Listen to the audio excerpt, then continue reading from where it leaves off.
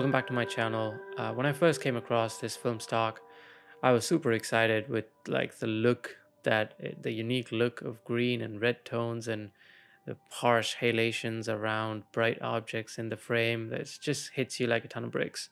It is a notorious film stock to be sold out as soon as you get uh, you know a new batch released.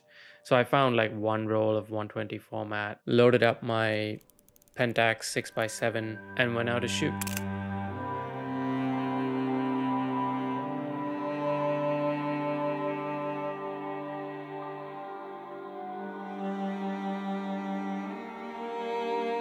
The T in 800T means it's tungsten balanced film stock, which means it's suitable to be used um, around artificial light sources. So, you know, and the slightly higher ISO of 800 makes it a bit more usable um, when it's darker.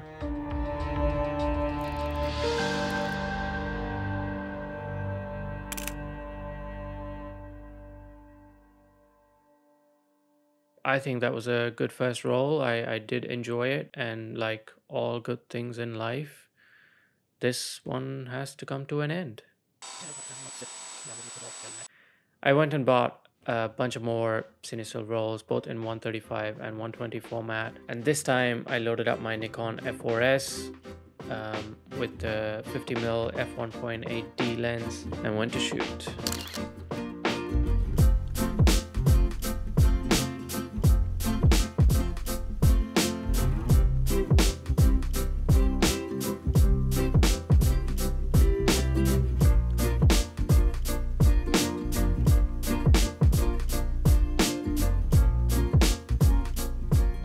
I learned that tungsten film could be shot in the day using an 85B orange filter. So this one's a Hoya uh, filter that I bought from eBay for like eight bucks uh, used. Until I came to know about this orange filter, I was kind of skeptical about using CineStill film um, more regularly because of its kind of limited use, even though the look that it gives is amazing.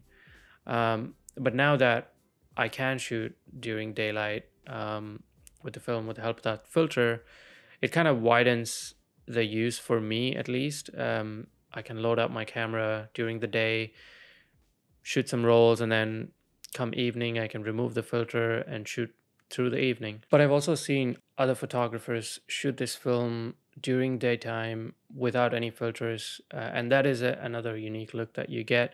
Although I didn't try it this time around, I'll probably try it next time. But yeah, I'm really pleased with how the day daytime photos turned out as well.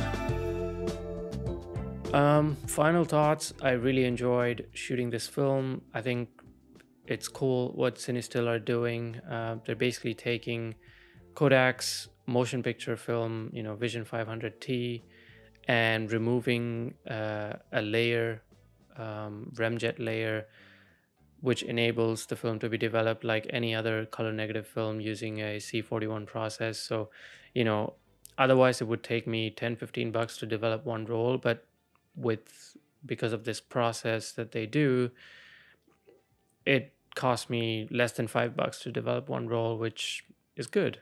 Um, so yeah, I think what they're doing is cool. I did enjoy shooting the film with the filter. I can see myself shooting this film in sort of more diverse conditions. It doesn't feel as restrictive anymore. So yeah. Um, but that's about it. Um, thank you so much for watching again, and I truly appreciate you giving me your time. Take care, and I'll see you guys in the next one. Bye.